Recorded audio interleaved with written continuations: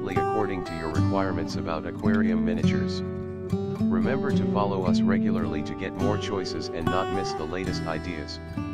Of course, there are many great commercial products on the market. If these interest you, by all means use them. But if your budget is limited, or if you just love getting creative when it comes to DIY projects, there are plenty of great ideas that are affordable and easy to make.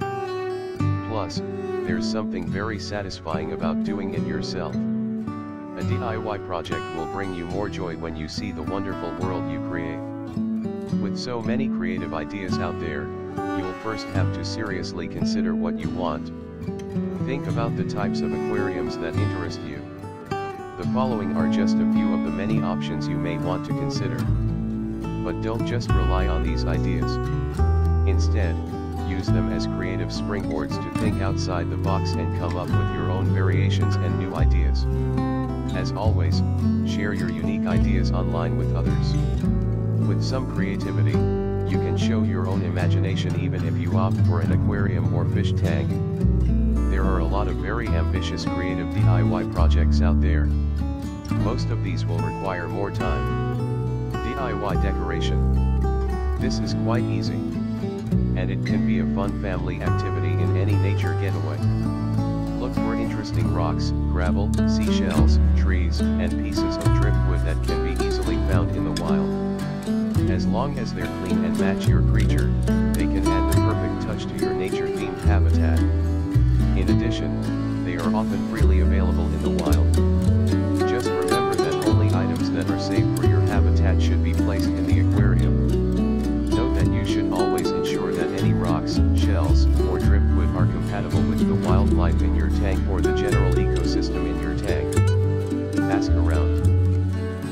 Research online or ask someone knowledgeable at the pet store if you have any questions. Certain rocks can affect the salinity or pH of water. Even natural wood may have been treated with chemicals and then discarded. This can be a contaminant if it is placed in your habitat without proper disinfection. There are simple options to make sure these objects are safe to add to your habitat, including sterilizing in the sun or under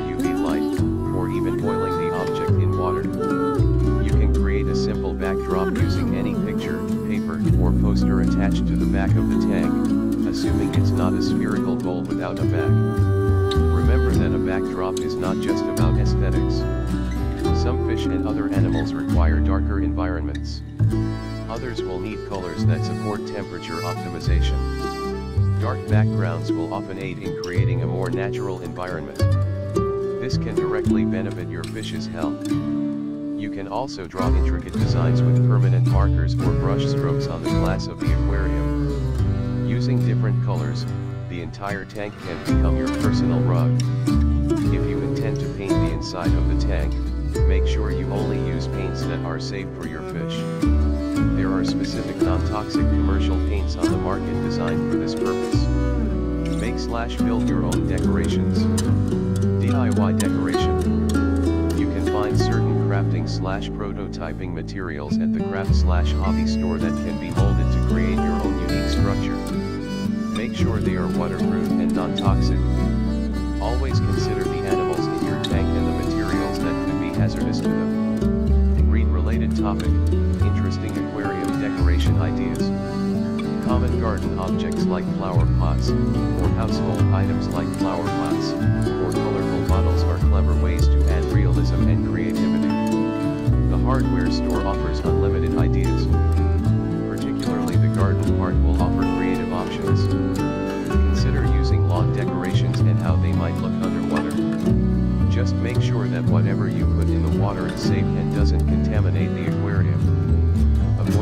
That tend to rust and corrode. DIY decoration. There are some plants that can live submerged. The advantage of these plants is that they can be planted first and then planted underwater when they are ripe. With a little planning, these plants can be a creative way to add real vegetation to your habitat. Visit your local nursery to learn more about some of these options if you are not savvy with such plants. If you are not sure if an object is safe, it's best to isolate it in a separate body of water and monitor what happens over time.